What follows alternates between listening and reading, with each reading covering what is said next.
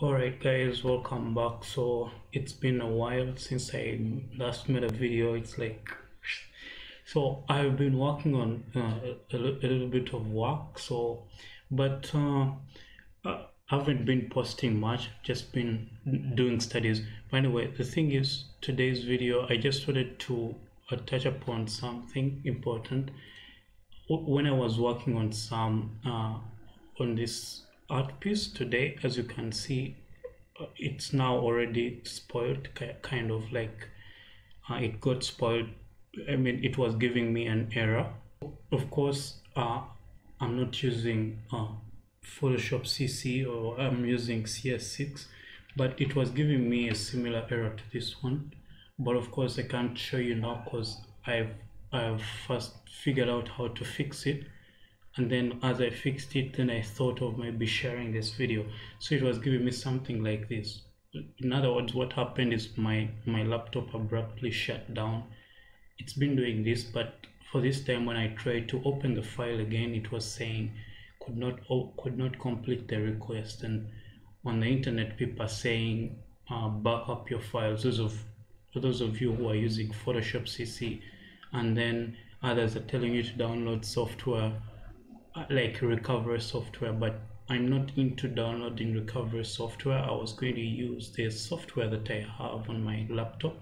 So uh, for this to work i needed photoshop of course uh, my my file and and uh, sketchbook pro. So when you're using photoshop and sketchbook pro if you've used sketchbook pro you know that you can save files as uh, TIFFs or PSDs or JPEGs, whatever. So I thought of an idea. I thought since Photoshop is kind of unpredictable, I mean, it has more very many frequent errors. I was like, let me try to open it in in Sketchbook Pro first. So what I did, I went to the file location.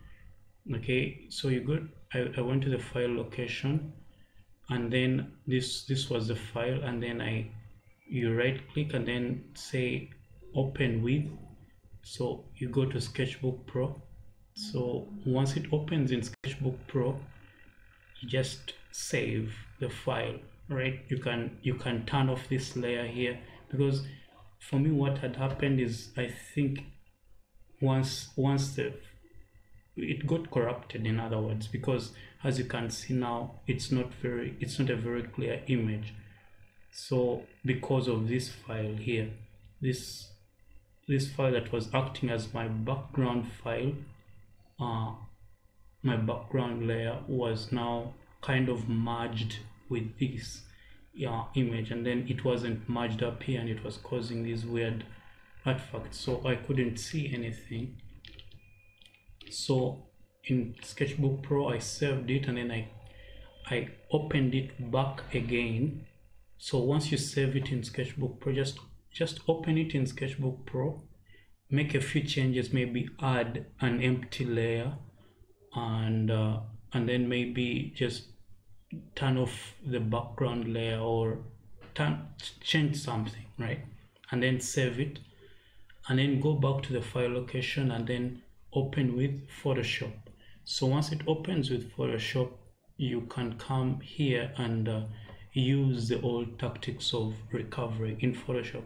So for example, here you can see that uh, I know that I need this layer here, right? So I need these layers to be as bright as this. So what I did, I just added an adjustment layer and I clipped it to affect only the layer of the, of the line work so this is what i'm saying here. So when i switch it on it now looks like this. It looks weird because i have two layers that are the same.